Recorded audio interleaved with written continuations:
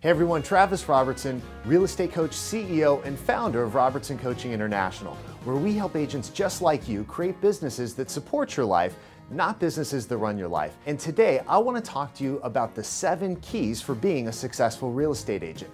You see, there's probably no question that I get asked more by real estate professionals than how do I be successful in this business?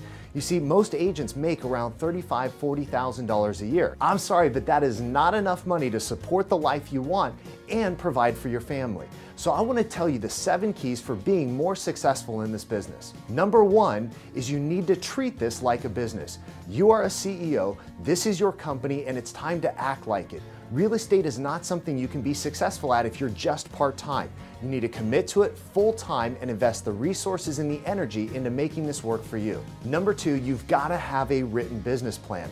As the CEO of your business, it's imperative that you plan out what it is that you're going to do to be successful. And if you don't have a plan, all you're doing is you're waking up every day and wishing and hoping and praying that it's going to work out for you. And it doesn't work that way. If you've got a plan, what it's going to do is it's going to focus you your team, the resources, the money, and the time that you're spending into the right activities that are gonna generate the best results for you. Number three, and this is huge, you guys, you've got to stick to a daily schedule. Too many agents get in this going, wow, I can set my own schedule, I can set my own hours, this is gonna be great. I can start when I want, I can end the day when I want, and all that's going to lead to is frustration. You've got to act like a regular, normal business, and you've got to be your own worst boss. You've got to set starting times and ending times, and you've got to have business hours where you're in the office no later than 8, 8.30, 9 o'clock on the phones, making the dials, doing the things you have to do to generate your business. If you don't act like it's a business with a regular schedule, you're not going to be successful. And number four, you've got to pick up the phone. Too many agents have what I like to call phone avoidance syndrome. They're doing everything they can to not pick up the phone, not make the calls, not call the past clients, the sphere of influence, the people that can ultimately be responsible for generating business. They don't call leads back, they don't follow up with anybody, and as a result, they starve. And I'm sorry, starving is not a fun way to live your life. You've got to pick up the phone, you've got to make the dials, and you've got to have those conversations that are ultimately going to lead you to the money that you want to make. Number five, you've got to get involved in your local community.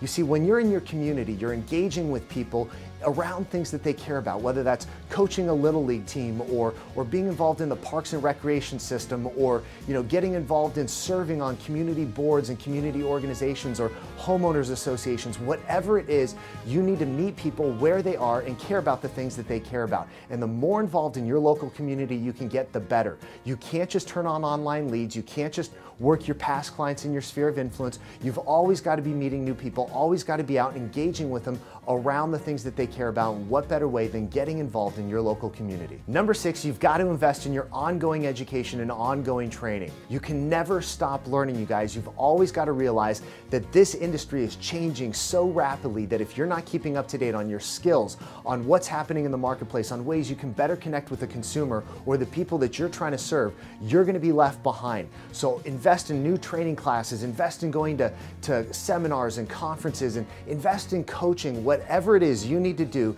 to stay ahead of the competition, you've got to spend the money on. And number seven, don't get hung up on shiny objects look, there's always going to be something else to buy, always going to be something else to, to invest your time or your resources or really waste your time and your resources into. And I don't want you to do that.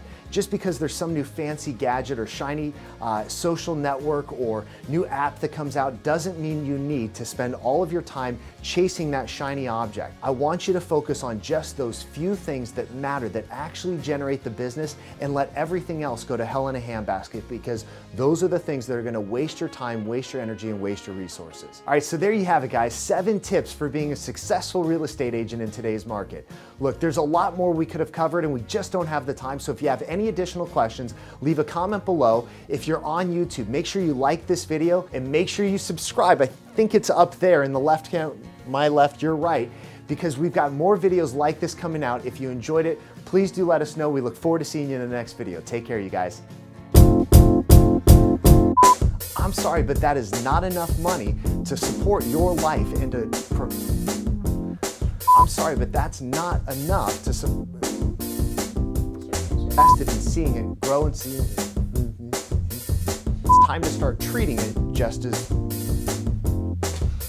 number one on the backside. That's terrible. Yeah. We'll get into this. All right. Come up with other stupid cliches.